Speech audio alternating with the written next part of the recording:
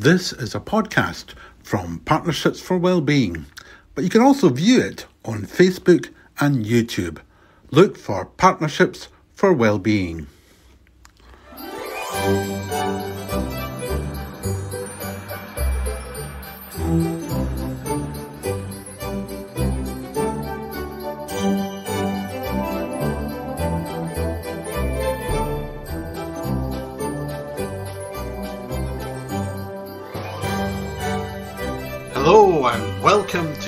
Special festive edition of Ways to Wellbeing, coming to you from the winter wonderland that is Inverness and from the Santa's Grotto that is our Partnerships for Wellbeing podcast studio here in Wells Street. Well, today it's a special program, so I have not one, not two, but three guests to introduce you to, and one tiny little cameo appearance from a well known voice. But first, let me introduce you to our first two guests, each of whom have many strings to their bows. In one case, someone with a head for tourism, another with a head for music, but both with a head for business. They are from MacGregor's Jo De Sylva and Bruce MacGregor. Merry Christmas. Actually feels very festive now, now that we're here in this Santa's Grotto. Now, I said you both had uh, many strings to your your bows, um, but what kind of year has it been for you? a difficult year, if I'm perfectly honest. It's been a really hard year for a number of reasons. Um, business wise, it's been really tough because there have been so many challenges in business. Um, there's been a shortage of staff and um, all the increases in prices that everybody's seen across the board, whether it's in business or home. Um, and then on a personal level, we've lost some really close friends as well. So it has been a really, really, really tough year. But I think for us, we just I suppose it brings into really sharp focus the things that are incredibly important. It really rocked us. Um, and the business, all of a sudden, business, all the worries of business just didn't matter at all. Uh, but I think we're beginning to, yeah, we're just looking forward to getting this year done. But then you start looking back over the year and you think, God, there were some really good bits. And musically, we've been, I think we've been really lucky with Blazing Fiddles. Uh, we had our first St Andrew's Night gig at the Usher Hall, which was absolutely packed. Um, we got in, put a new album out at the beginning of the year, so musically there was a lot of good things. Blazing and Beauly, it was back to the normal amounts after the last few years of, you know, last year we had to have it reduced in, in scale because of uh, it's still COVID uh, Yeah. um, restrictions on things. But this year, you know, it was absolutely bouncing. The whole of Beauly was so musically that was great, and I think we've got some of the new members of staff we've got in at uh, MacGregor's and at working at Bogbain have been a delight to work with as well. Do you Young, enthusiastic. We won Pub of the Year. That's true. Yeah, I forgot about that. uh, yeah, the, the Highland Tourism Awards, getting that. You know, there's a lot of doom and gloom when you listen to the radio a lot of time and it's sadness and stuff. But then when you start to look for the good things, there are lots and lots of good things. There are lots of good things and really, really, really good people. And I think when we were at that, the awards ceremony for us, and we didn't, you know, we genuinely, there's so many amazing um, businesses and uh, bars and so on. And, you know, we're just really grateful that people choose to come to us. And we never forget that, you know, we never forget everybody has a choice. But then for our peers to have said, well, actually, what you do is really good. Yeah. You know, it was really lovely, wasn't it? And it was just kind of that was. point of thinking, you know, we're never going to not be sad. But there are lots of things to be happy for. It was also a, a, a very, very good reminder of how nuts people can be at award ceremonies. because the table beside us, who will remain un, uh, nameless Oh my throughout this, were absolutely out of the game from start to finish. It was like wa- watching those rock and roll uh, halls of fame kind of thing when some of the bands are completely out of control. They were absolutely out. In fact, one of them got arrested at the end of the night, which was quite impressive. the creme de la creme, I think you called them. didn't you? Yes. now, is it fair to say, and I hope I'm not giving too much away here, that when you two first met uh, many years ago at the BBC, that you didn't actually like each other that much? We did not. Oh my No. goodness. I Well, the problem was, you know, there was a lot of pressure in those days. That, you know, people coming in and taking your job at the BBC, and it was like cat and dog eat Yeah. dog Oh, in there. yeah, and I was thinking, yeah. oh no, here we go, Yeah. smart, talented, Right, and so threatened, threatened. Yeah. Let's see how well you both know each other now as we play our festive edition of Perfect Partners.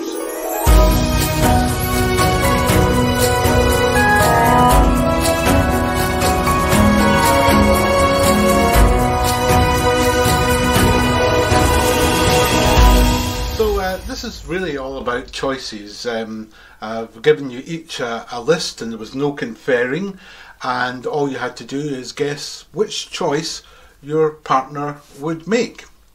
So I've got Jo's list of preferences here. So um, Bruce, turkey or a vegetarian option? That was easy. She's a vegetarian. that was. Uh, we'll eat the odd bit of fish, but Christmas crackers or crackers with cheese? crackers with cheese. A wee dram or a wee glass of bubbly? Bubbly. Oh, Oh. choose a wee dram. Oh, really? Mm, well, I was thinking Christmas, you know, hug my. Secret whiskey drinker. To be quite honest, both. I think is the answer. Now, not for eating. Uh, reindeer or robins? I think robins. Yes. Skiing or skating? Skating, because I've seen her skate, but I've never seen her ski. But she might quite like the idea of going skiing. But she's got dodgy knees, and therefore skating is probably. Oh, secrets about She what has dodgy knees. you have, don't you? I, well, do you know, it's just an age thing. you know, it's like everybody when you get to over 50, you kind of wake up in the morning and you go, oh, Oh, I'm, oh. I'm afraid she chose She's skiing. too I skiing, did yeah, just, yeah, do you know, because I just thought to myself, again, Christmas, you know. Skating. Yeah, yeah, yeah. uh, Eating Boxing Day leftovers or watching a championship boxing match? uh, definitely the leftovers. I'm not a big fan of the boxing. No. Ness Islands or an island in the sun? Island in the Sun. Oh, she chose Ness No way! I did. You're always talking about going to an Yes, I know, but Exotic you know, island. I'm thinking Christmas, I'm thinking, you know. Oh, wait a I know what she's thinking. She's, She's thinking I'm going to win this. No, she's thinking I'm involved in the, the tourist industry. There's nothing nicer than a wander around the Ness Islands on a crisp, Christmas morning. Oor Wullie or the Broons? I've gone for Oor Wullie for no reason whatsoever. Not shy. Well, Jings help my boat. She chose the Broons. the Broons. Yeah.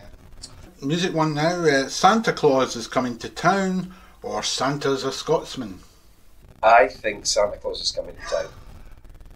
I don't you know her at all. I don't she think he does. Santa's a Scotsman. I've never heard you play that. No, but you know why? Because that is written by a friend of ours, isn't it? It is. And Christmas or Hogmanay?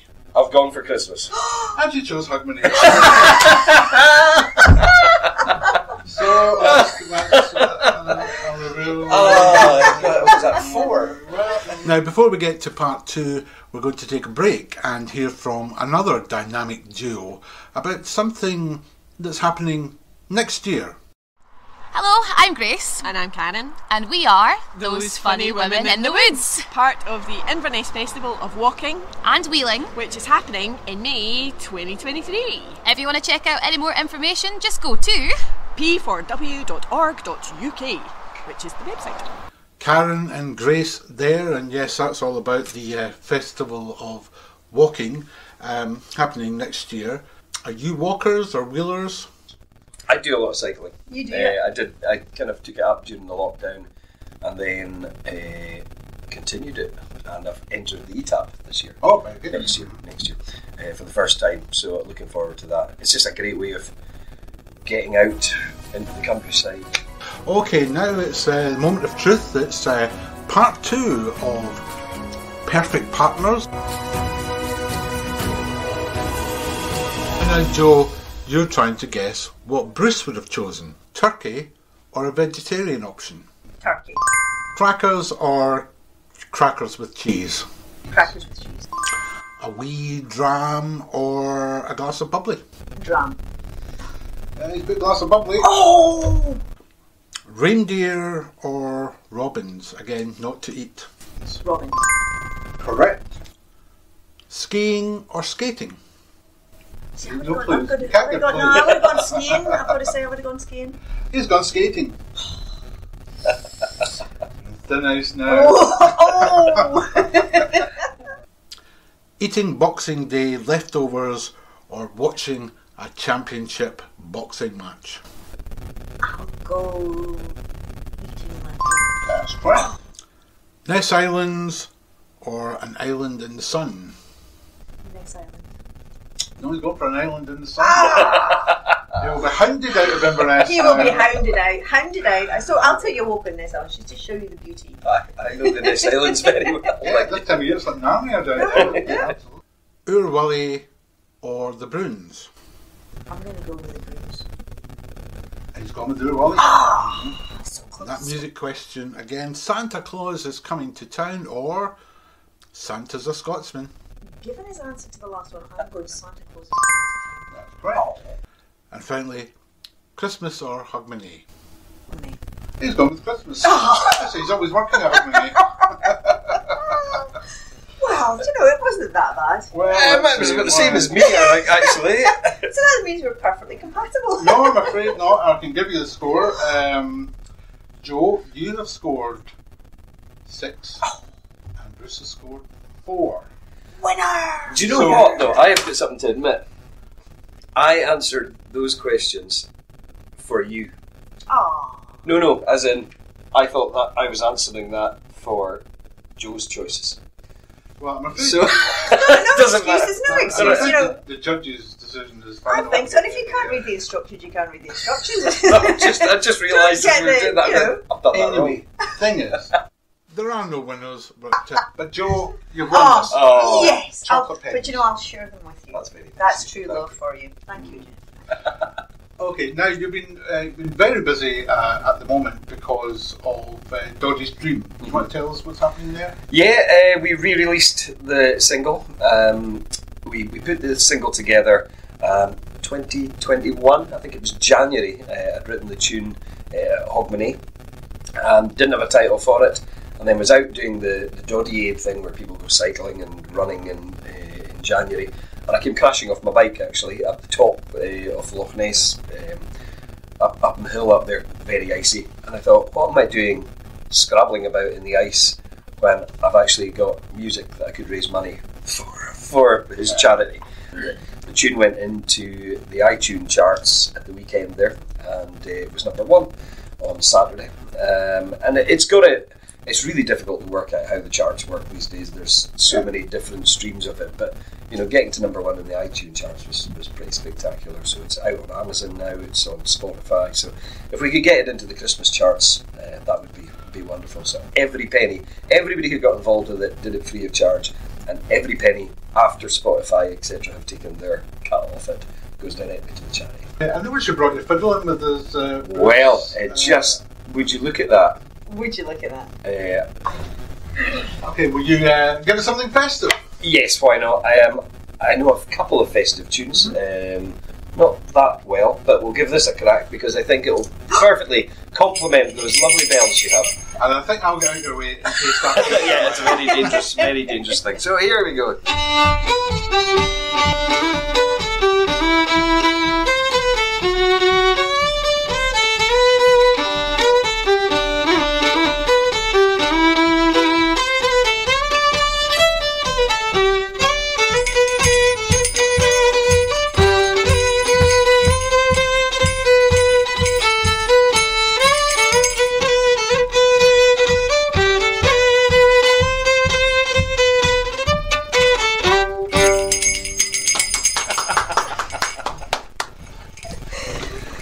that's our careers finished.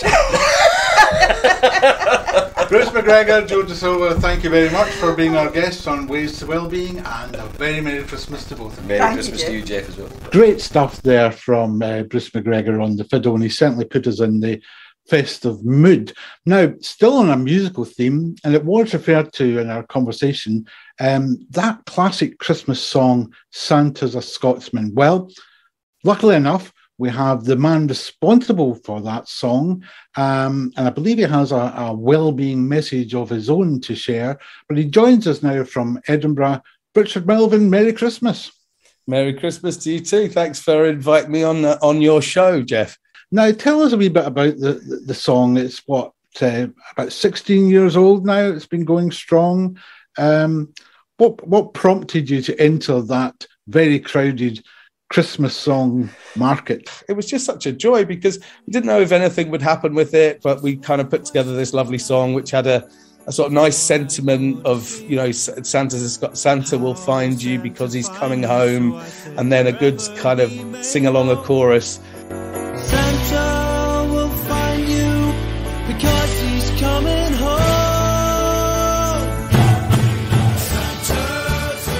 Um, and that was back in 2006. And we were lucky for a couple of reasons. One, um, it was picked up by uh, Radio 2, and Ken Bruce sort of championed it and started playing it every day.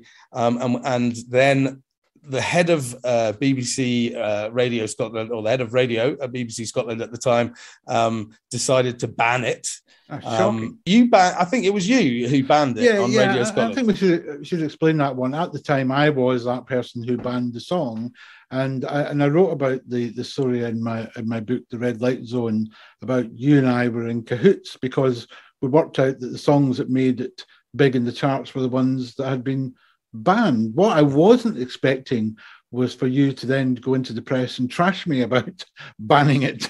I, I don't think I said. I thought. I think I just said I was very disappointed, um, and that, that how that Ken Bruce and that, that that that Radio Two could get so behind it, and that you were mere. I think I said something that you were merely attempting to jump on a bandwagon of publicity for yourself. I mean, the irony of that, you know, when I was trying to flog a song at Christmas, we knocked Leona Lewis from X Factor off the number one spot.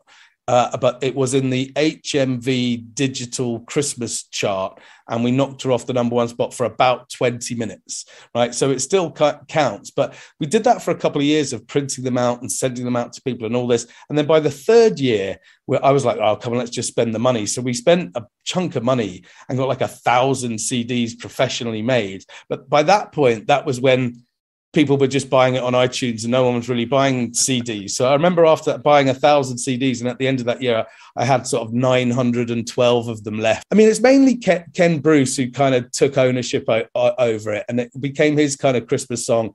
And that just was where all the joy came from it, really. And every Well- year well- there was.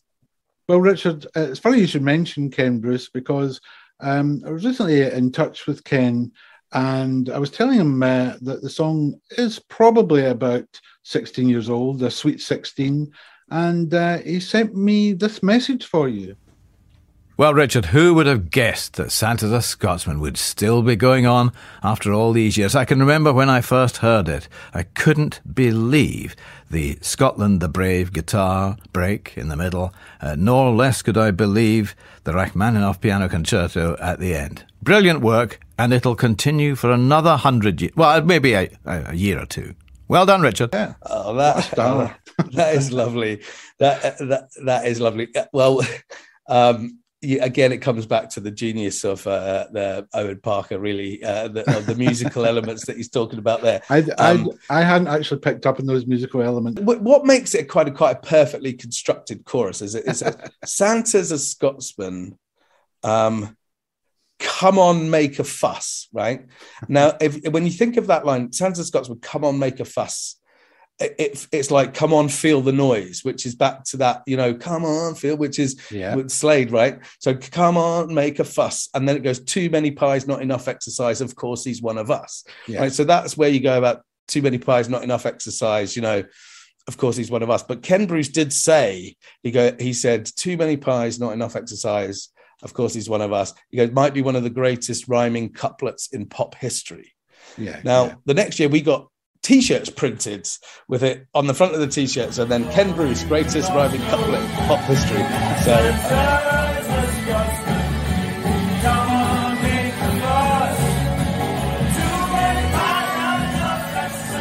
and we performed it at the Stand Comedy Club in Edinburgh. And Dave sang his heart out, and I handed out blow up guitars to everyone in the audience. and um, it was. It, I think that's the one and only time we've ever performed it live. But if anybody wants us to come and do it for them, we would. It was. It was one of the best three minutes forty seconds of my life. Well, as you say, as, as it has a very strong well-being message at its heart uh, about um, getting exercise. What's your own approach to uh, staying in staying in shape, uh, Richard? For me, I kind of think I need to, in some sense, have a project or have a sense of being like a hero. I think, you know, or like having some sort of, you, you know, that's just how my brain works. I need to be able to you know, run 5K faster than I did last time, or sort of, you know, walk further than I did before, have some sort of target. So I need I need that for me. And and like last year I did a thing where I was like, right, I'm gonna climb. I live um I found worked out that from my front door to the top of Blackford Hill in Edinburgh, back to my front door was almost exactly five kilometers. So I thought what I'll do is I'll try and climb Blackford Hill every day. You know, that's I'll walk out the front day. door. Yeah. Uh, that was the plan, but then Yeah. I, I didn't quite manage it every day. But I thought, right, uh, uh, when I realized that, so what I did was I thought, well, I'll make a film of me doing it uh, with the times and all of this, and then I can, and, and then at the end of the film, I'll be let's see if I can climb it twenty times. You know, day one, top of Blackford So I did that, and I made a little film of me climbing the hill, and that made me feel brilliant. I mean, not just the fresh air, not just the walking, not just the headspace.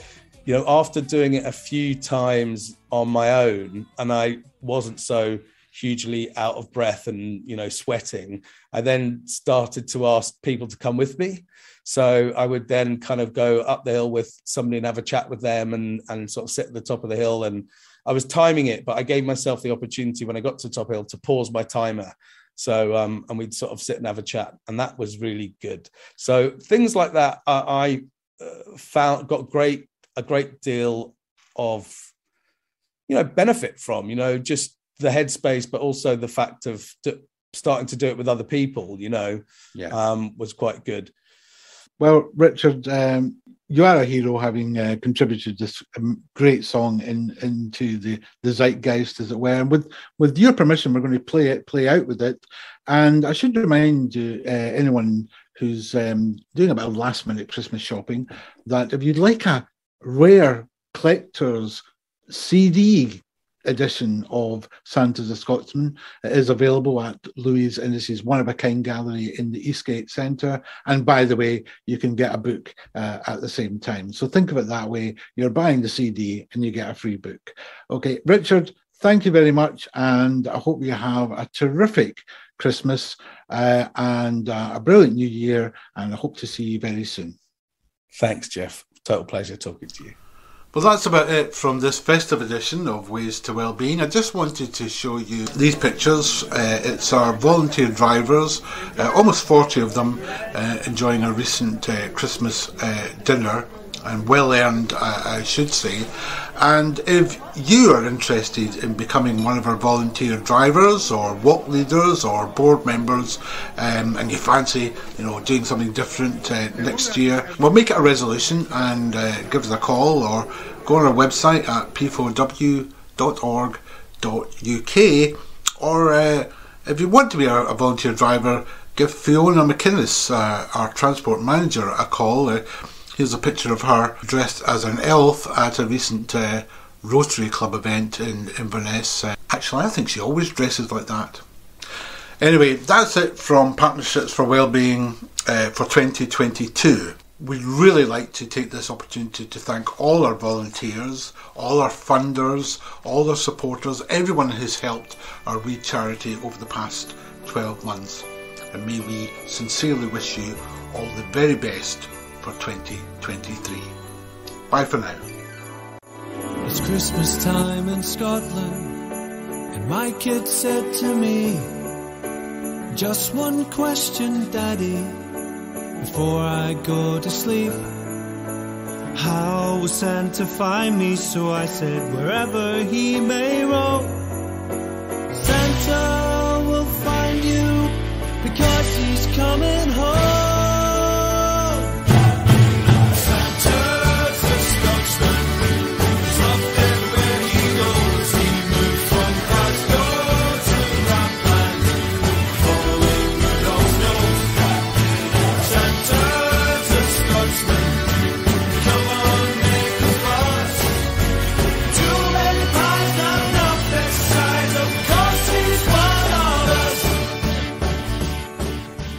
Ways to Wellbeing is produced in Inverness, Scotland by Partnerships for Wellbeing, a registered charity. To find out more about our services, go to p4w.org.uk.